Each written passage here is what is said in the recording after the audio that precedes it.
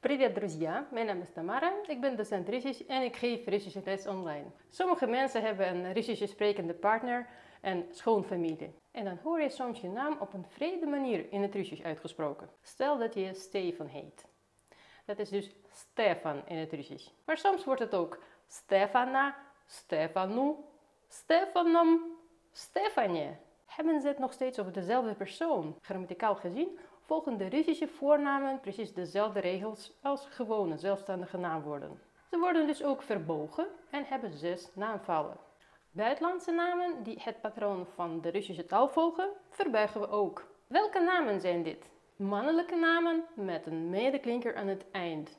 Neem bijvoorbeeld Henk, Henk in het Russisch. Eerste naamval, это Henk. Tweede naamval, у Henka есть жена и сын. Naamval, я пишу письмо. Vierde naamval, ты знаешь? Vijfde naamval, мы с Хенком были на вечеринке. Naamval, я думаю о Хенке. Vrouwelijke namen met a of ja aan het einde of met het zachte teken. Bijvoorbeeld Ella, Ida, Maria.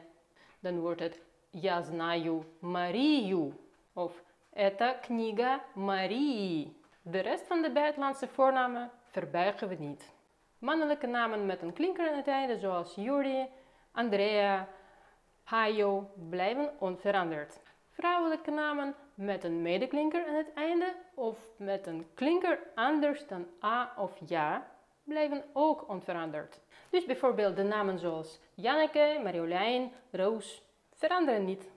Dat was het, spasibo. En als je meer wilt weten over mijn cursussen, volg de link onder deze video. Пока!